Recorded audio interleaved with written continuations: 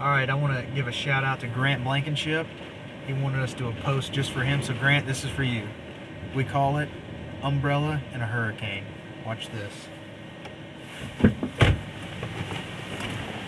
By the way, this is a bad idea. Don't try this at home.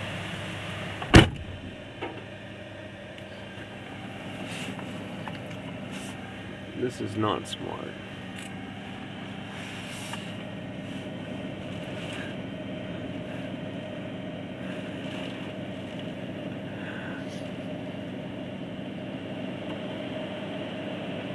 that guy with an umbrella.